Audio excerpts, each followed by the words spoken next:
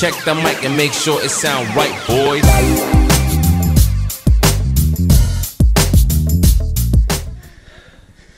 This was Padre's idea, and and we'll just leave it there.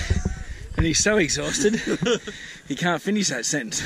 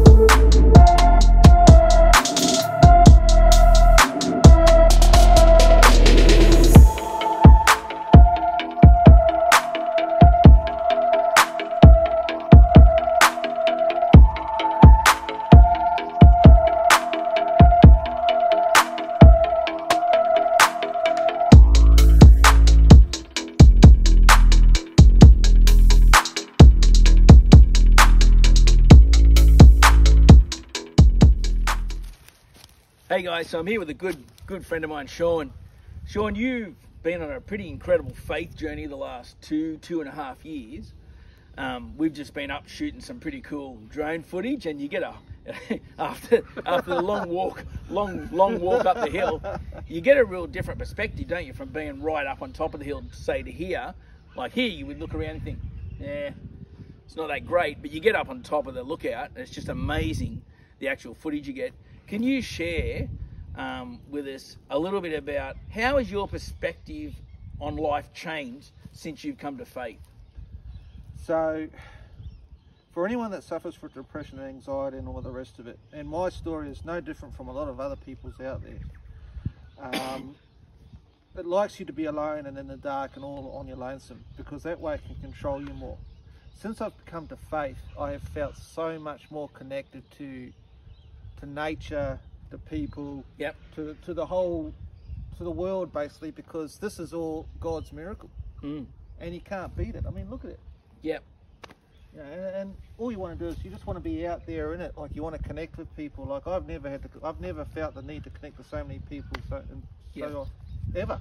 So, so, so before coming to faith, a lot of your time was isolated, right? Yeah. Like just and um.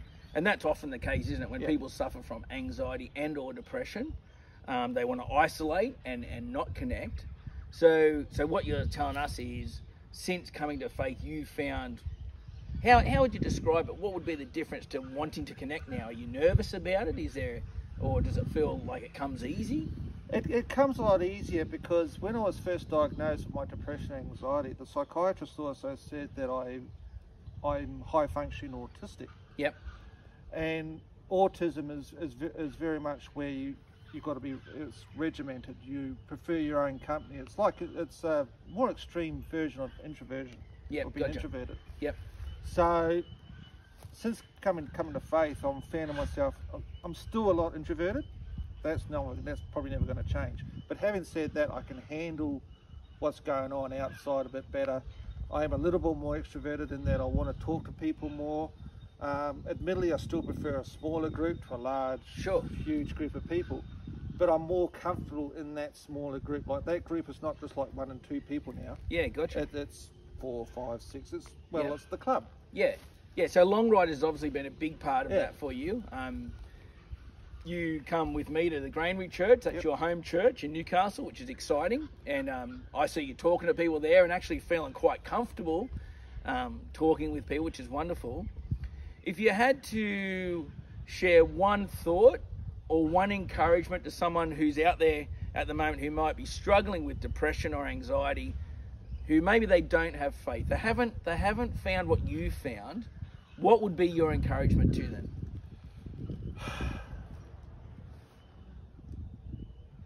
Try and connect with someone that's been there Yep. and is on started their journey, and it might not necessarily be a faith journey. Yep. I mean, everyone has. Because I believe that that faith has helped me, and, and it's because of my faith that I am where I am now. Sure. Um, some people might struggle with that, but like you keep on saying, uh, people, there's just two kinds of people there: people that have faith and have found God, and there are people that haven't found God yet. Yep. And those people that haven't found God yet are the ones that we really want to try and connect to because it makes so much of a difference to your Definitely. life. And, and the reality is that God's perspective is that we're all his kids, but some haven't connected with him. So it's like being adopted. Um, we've all been adopted into the, the kingdom of God, and some kids, Yep. guys and girls, just don't know that they got this adopted father who's got grace and love and mercy and full of forgiveness um, for them. And you've discovered that, which has been exciting. So, um, so thanks for sharing with us today. And um, guys, you know, find faith. Look for people of faith to be around. Look for people who can encourage you, who can inspire you, and who can really lead you in the right direction. So bless your heaps. Uh, It sound right, boys.